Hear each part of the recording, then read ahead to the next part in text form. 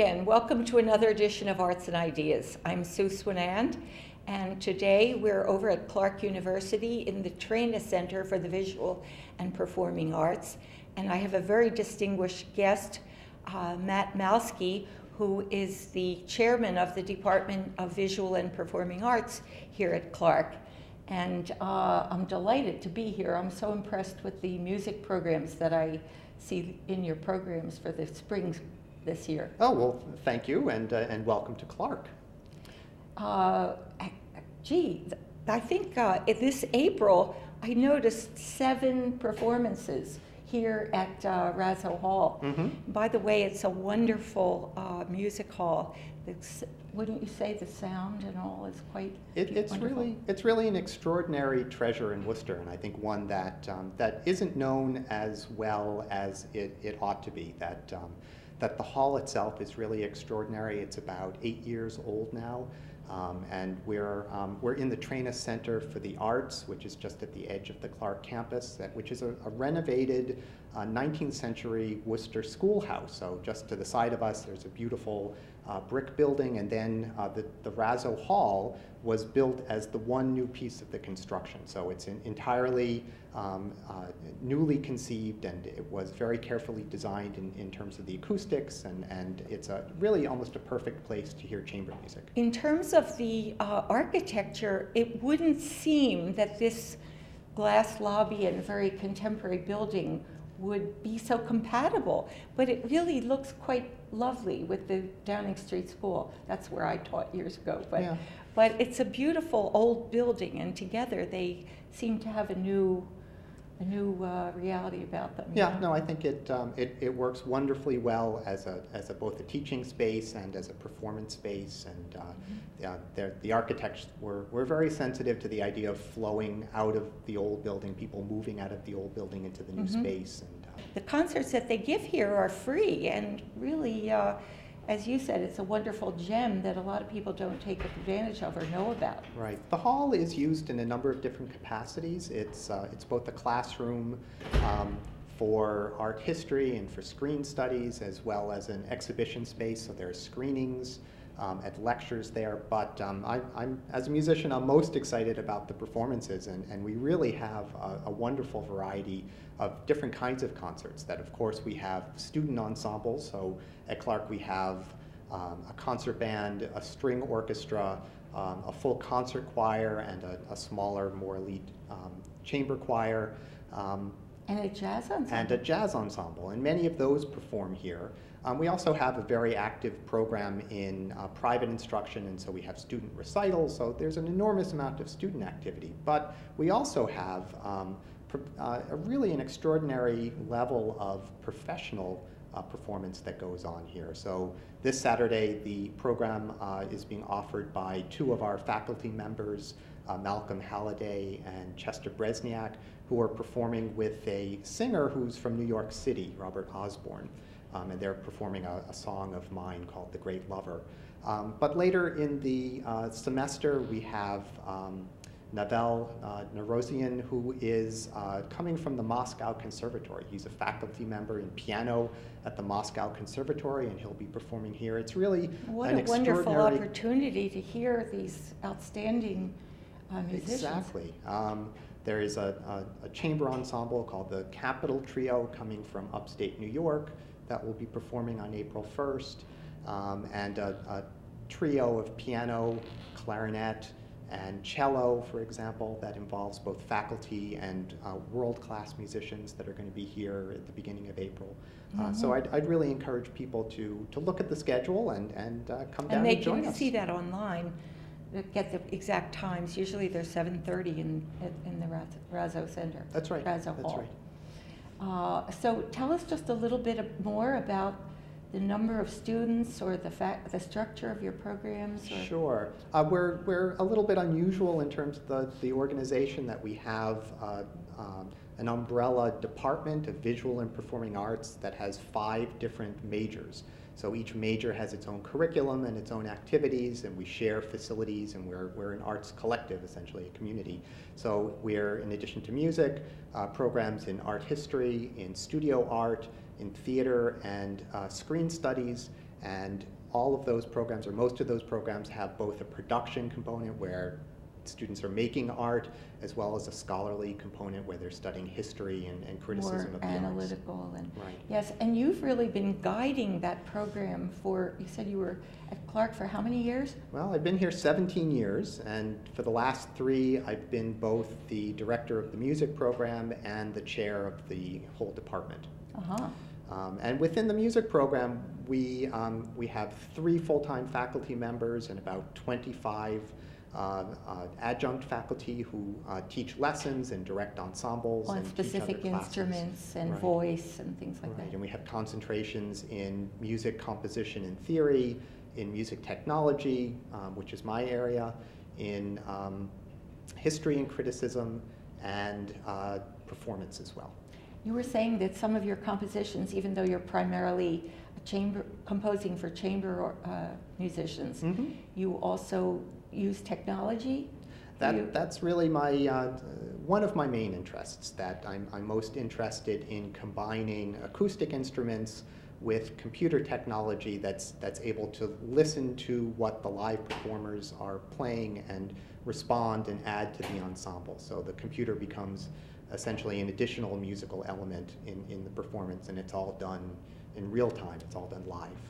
sort of like Photoshop for the visual arts.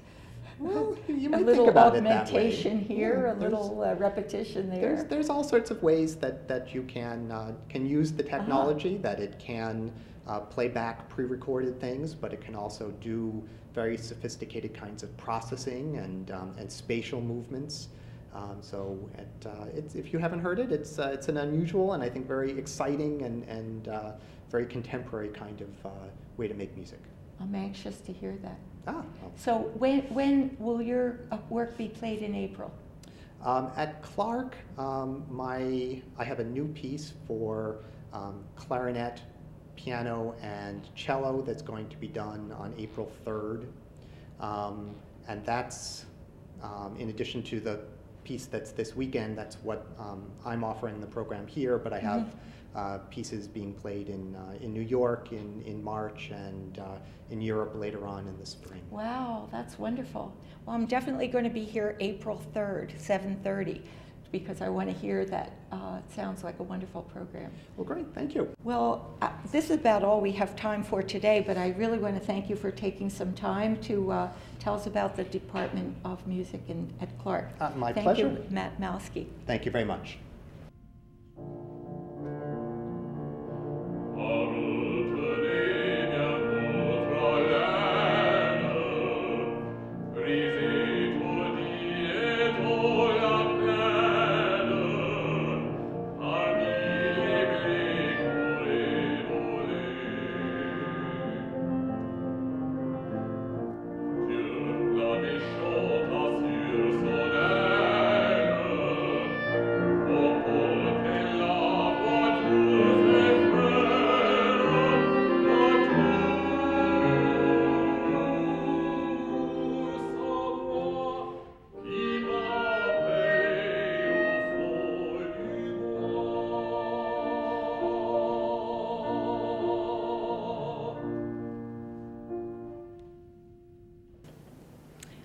In the Little Center at Clark University, and uh, I'm talking to Gino DiIorio, who is theater program director uh, of Get the theater program There here at. Clark. Right, right. And what, what's the accurate name of this? Uh, That's the theater? Michelson Theater at uh, Uh-huh. Clark University at, at Little Center Theater. And how would you describe this kind of theater setup? Well, this is kind of an interesting space. Uh, most of the time we call this a black box, but believe it or not, this was actually a dining hall when it was first construction, constructed back in the 60s. And it was modified into a theater. It's kind of our all-purpose uh, black box space. We do most of our main stage, actually, I'd say nine, we, every now and then we'll do a show over in Atwood Hall, but most of our main stage shows are here. And how many shows do you do a year? Three main stage shows. So we'll do, um, let's see, last uh, fall we did a show by Greg Moss called Punk Play. And uh, this uh, particular show now, which opens uh, tomorrow night, is uh, Tales of the Lost Four Formicans, which is uh, a show by Connie Congdon, and it's directed by Kate Lohman. And then later on in the spring, in April, we're doing a play called A Piece of My Heart, which is a show about uh, women's experience in Vietnam, and that was written by Shirley Lauro and directed by Andrea Southwick. I can't believe I got all that right. So And. Kate Lohman is a visiting director, so you uh, pull yeah. people in from outside We always the do, area. yeah. Kate, that Kate's a fine actress. Uh, she directed for us uh, a number of years ago. We're happy to have her back. She's uh, situated in uh, Providence, Rhode Island. She's a commercial actress down there. She also does a lot of improv. She also teaches improv for us, so she does a lot of stuff here. I know that the students get a chance to do quite a bit of uh, hands-on in every area of theater. Yeah, yeah. So, They're, they're uh, pretty, they're pretty active. I mean, uh, uh, I think Laura Menza, who you're going to speak to in a couple of minutes, uh, she not only uh, acts in shows, she also directs. A lot of the, uh, Chelsea Long is, uh, who's in tonight's production. Uh, she's also a playwright and a director, so it's not uncommon to have a, a- a theater student do a lot of different things. Um, as I, I mentioned before, we have a, a, a new play festival. Uh, every other year, we produce uh, uh, full-length productions of student works. Last spring, we did nine, which was probably too many. Uh, we'll probably do less, less next spring. But this, this coming spring, we're actually doing a couple of new shows, new plays by student playwrights, also um, some readings as well. So there's always a lot of theater going on. We, we generate a lot of new work, but we also produce some, some works that are already established as well.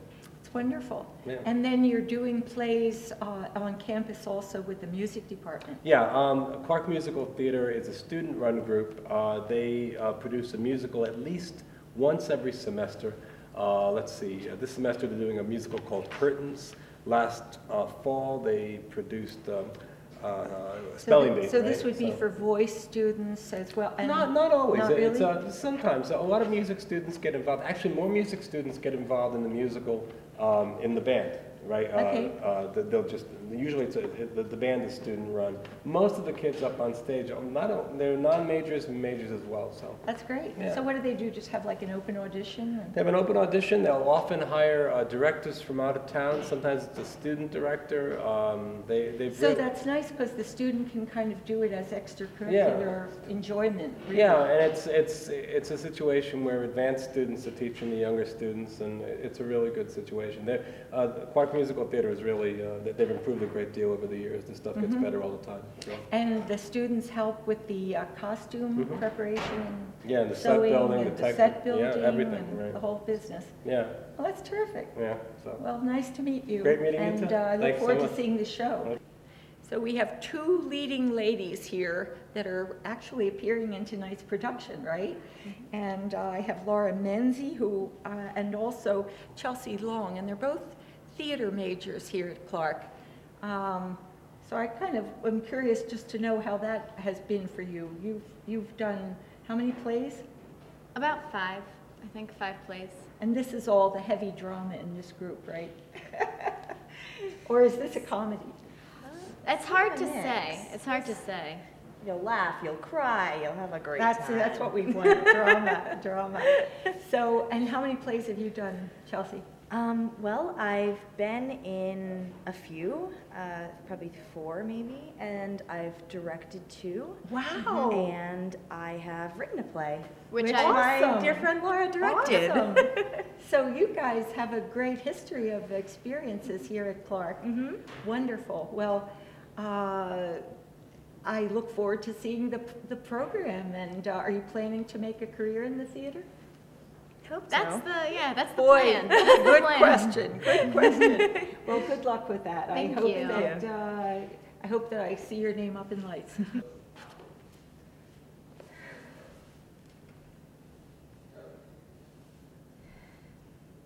You were so positive. I know. You were so sure. I know. It's incredible. You're telling me two Corvettes that look that much alike? And what was that? That Cambodian. You said he was from Thailand. Whatever, some skinny oriental guy. What was he doing parking a car like that on a residential street? He probably foolishly thought it would be safe here. Yeah, well, they don't know anything. They're just asking questions. What was he doing with a Corvette anyways? What do we do? Well, Jagger's got away into the police computer. If it comes to that, No way. I'm not encouraging that kid. He's scary enough already. we might be arrested. They know it's two women.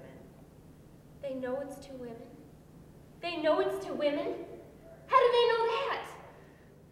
They heard giggling. Giggling? Giggling? Who was giggling? I wasn't giggling. You were giggling! Listen, I was distraught. You were distraught. You're distraught. I'm the one who's distraught. Look at my life, it's falling apart. Yeah, what do you think mine's doing? Singing a little song?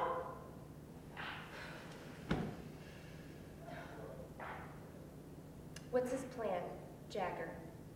Zap the records. It's easy, he says. Good. Good. Tell him we'll pay him in cash.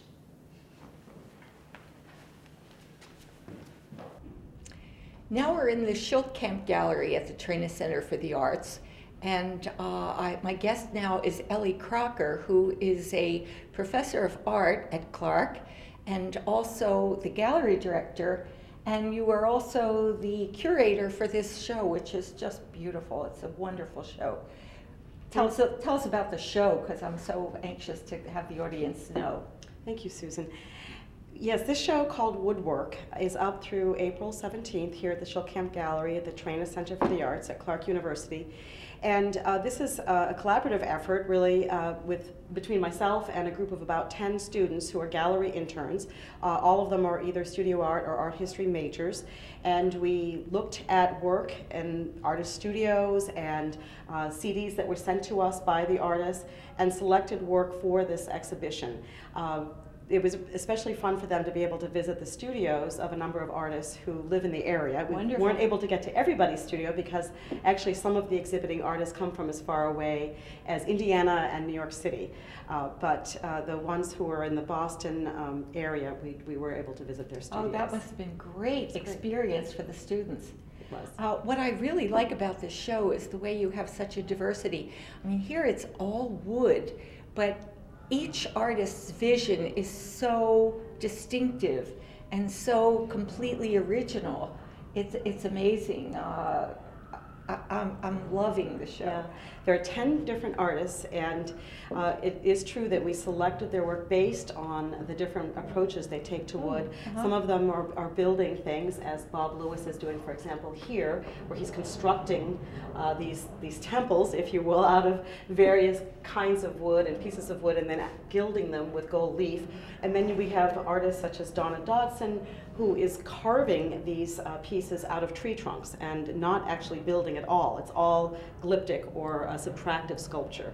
Uh, so there are a lot of different approaches. Some of them are very um, whimsical, and some of them are um, actually have a didactic message of some kind, uh, really speaking about um, issues dealing with our current times and ecology. Uh, one of the questions people might be asking is why a show about wood? And uh, this actually came out of some conversations we had about the fact that it seems like in this day and age where technology has affected everything in our lives, including art making for artists, that there's a, a resurgence of interest in material. Um, Real stuff. Yes, real stuff. And Real making stuff. and objects. Objects, stuff Yes. you can grab and feel and smell, and not just virtual. that relates to our bodies in some Yeah, way. yeah. And uh, so there is this sense that, and not to in any way diminish the importance or impact Sure. of uh, new technologies. Uh, and I'm sure that many of these artists, in fact, employ them to a Mhm. certain degree. Mhm. Uh, but the idea was to to go back to something that's more primal and Yes. this instinct to make objects. That and, and physicality is, it's just, has such presence, and it's so sensual. You know, Yes. The, the wood is, has a warmth, and every piece is unique. It's, it's wonderful. Yes, and, and actually, in thinking about it, we were we, we couldn't have a show that involved too many different materials. So we thought about wood as being perhaps the oldest, most ancient, and primal Yeah. of all materials that It artists have worked with. that kind of mystical association of the tree and Yes, and, and it's accessible to everybody. People understand what wood is, what wood can do. Uh, wood, of course, has, uh, for as long as human beings have been on this planet, we've employed wood in various ways.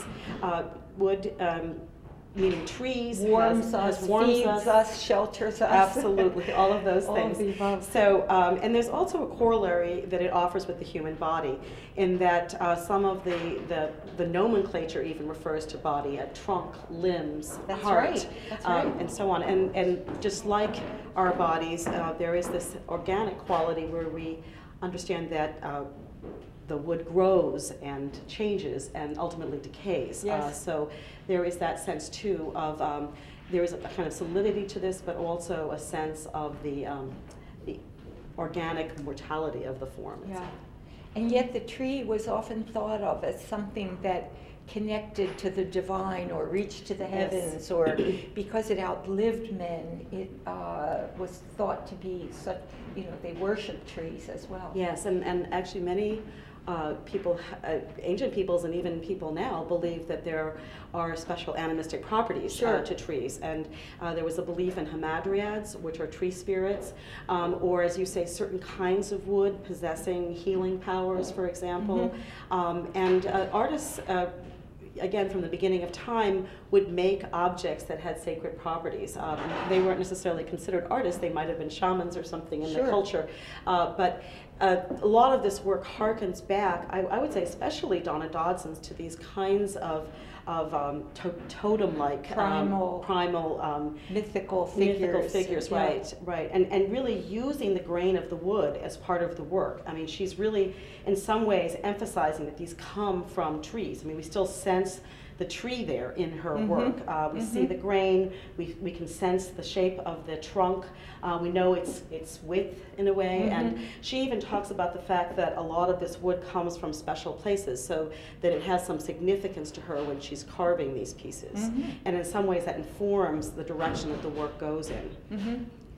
I'm very uh, fond of these little uh, kind of bubble-like balls that are floating the, on the wall and the uh, square boxes and By Rosemary Broughton Boyle, yes. Rosemary Boyle. th- uh, those just I love those. The way they come, they seem to flutter down. It- Yes. it- there's such a tension between the object being in midair and coming out of the wall, and and yet the physical form of it is so beautiful. Yeah, they seem to defy gravity. Yeah. In fact, the one with the cubes, uh, she's talking about um, constellations and, and this idea of the kind of random patterning, patterning of stars in the sky. Uh, so, yeah, I think there's a, there's definitely a whimsical quality to her work.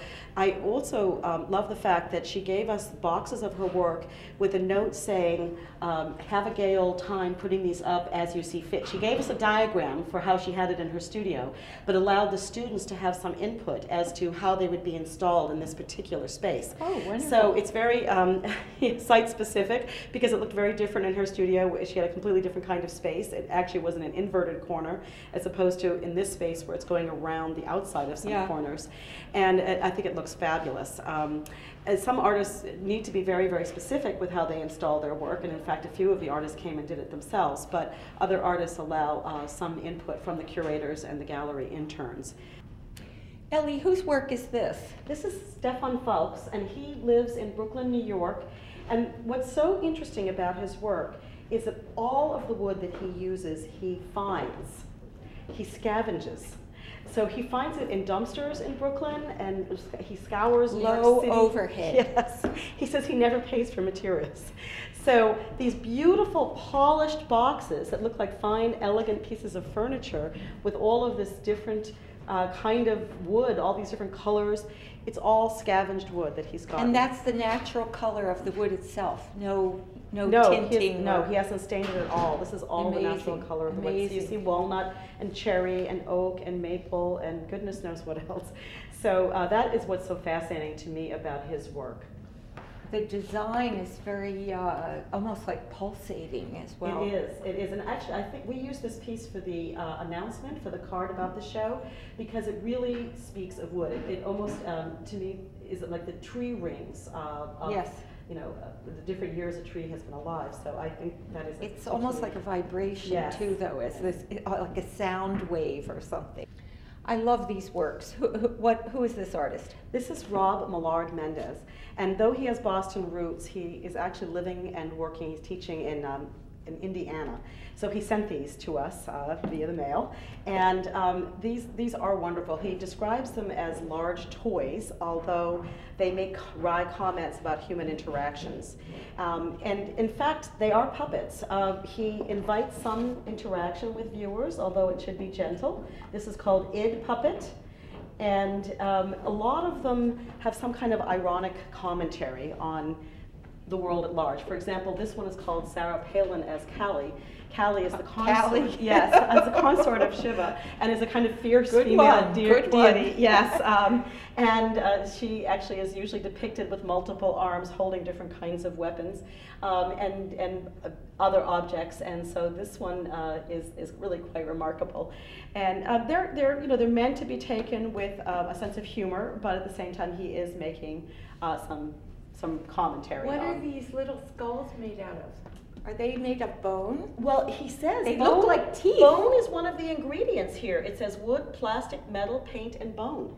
So those are carved out of bone? Yes, it's amazing. Oh isn't my it? gosh. I actually, one of the things I've enjoyed about this show is thinking about the different ways that artists are working in their studios. Uh, this is, to me, so much more playful, for example. Um, Mm-hmm. Yes than- and no. Yeah. I mean, all, all art making involves some aspect of play. Uh, but I agree. Yeah, and as a matter of fact, this, uh, there's a student curated show upstairs in this building that'll be up for a little while called the um, show about toys. So I think there is a kind of interest also in that, in the way that, that uh, the creative process in many respects involves playing. hmm Well, I think it, uh, I think that that shows in these works, and yet they have the dark side as well. Yes, they I definitely love have a that this side. one is all all the body parts are made out of hands. Yes. The feet are hands. Everything is hands. Yeah. Very, uh, very interesting Yes. stuff. And this, this piece is uh, by Rob Millard Mendez as well. Okay. Well, this has been wonderful, Ellie. I just wish I had scheduled three hours to look at this show with you because I love hearing your comments. Uh, it's been a pleasure looking at the work with you, and thank you for having us. Well, I really appreciate your interest, Okay, Susan, and I yeah, hope that pleasure. your viewing audience will come see the exhibit yeah, it's here. It's here through April 18th. April 17th is the last day, yes. So thanks for joining us today, and we'll see you again next time for another edition of Arts and Ideas.